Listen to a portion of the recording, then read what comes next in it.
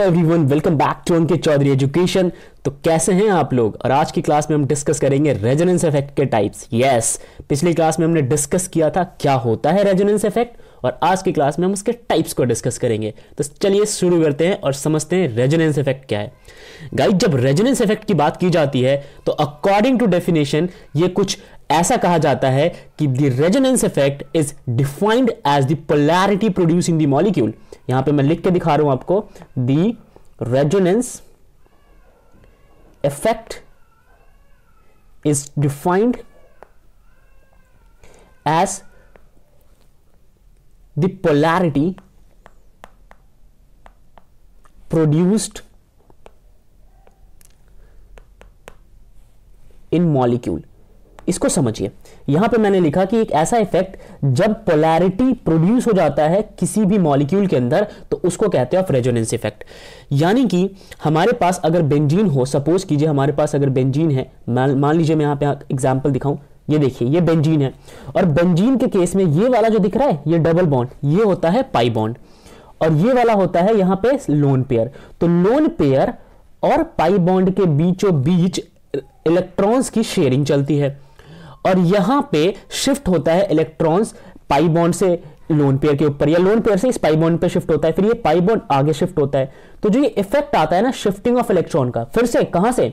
Loan pair से pi bond पे जब इलेक्ट्रॉन शिफ्ट होता है तो उस वक्त जो भी इफ़ेक्ट होता है, वो ट्रांसमिट हो जाता है पूरे चेन में। ये फर्दर ट्रांसमिट होता है। देखिए यहाँ पे लोन पेयर लोन पेयर से पाई बॉन्ड पे शिफ्ट हो रहा है। यहाँ पे देखिए, ये लोन पेयर लोन पेयर से पाई बॉन्ड मतलब डबल बॉन्ड पर शिफ्ट हो रहा है। और ऐसे इफ़ेक्ट को हम कहते हैं रेजोनेंस इफ़ेक्ट इसके दो टाइप्स होते हैं।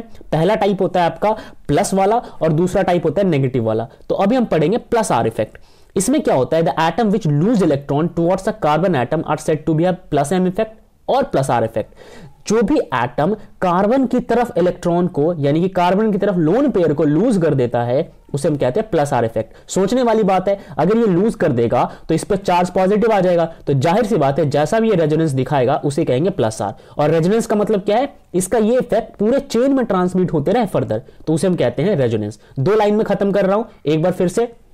देखिए, अगर मैं यहाँ पे इसे क्लीन करूँ और आपको समझाऊं तो दो चीज़ें होती है। स्टेप नंबर वन कि लोन पेयर लोन पेयर अपने इलेक्ट्रॉन्स को डोनेट करते हैं।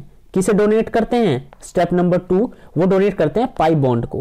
राइट किसे डोनेट करते हैं? पाई बॉन्ड को। पाई बॉन्ड मतलब डबल बॉन्ड को डोनेट करते हैं। और ये इफ़ेक्ट ये जो इफ़ेक्ट है डोनेशन वाला, ये पूरे चेन में कंटिन्यू हो जाए, यानी कि कंटिन्यू हो जाए थ्रू आउट दी चेन तो उसी को कहते हैं हम रेजोनेंस इफ़ेक्ट आई होप समझ गए होंगे आप अच्छे से। चलिए तो अगर ये चीज़ आपको समझ आ गया तो आगे इसको कंटिन्यू करते हैं। देखिए, अब क्या लिखा हुआ है यहाँ पे? रेजोनेंस इफ़ेक्ट यहाँ पे पढ़ लेते हैं। The polarity produced the polarity produce in the molecule by the interaction of two pi bond और between a pi bond and a lone pair यानी लोन पेयर और पाई बॉन्ड के बीच में जो इंट्रैक्शन होता है और उस समय पोलैरिटी आ जाए। पोलैरिटी मतलब पोलैरिटी मतलब चार्ज आ जाए। अब एक बात बताओ मुझे। यहाँ पे देख रहे हो ना, ये इलेक्ट्रॉन लूज कर रहा है तो इस पे चार्ज आ गया। इस पे प्लस चार्ज आ गया। तो इस प्लस चार्ज का आना एक तरीके का रेजोनेंस का इफ़ेक्ट है। और यही रेजोनेंस के इफ़ेक्ट दो टाइप्स में होते हैं। प्लस आर इफ़ेक्ट जो है, मैंने आपको समझा दिया, जब लोन पेयर डोनेट होता है डबल बॉन्ड पे। और माइनस आर इफ़ेक्ट इसका बिल्कुल उल्टा है।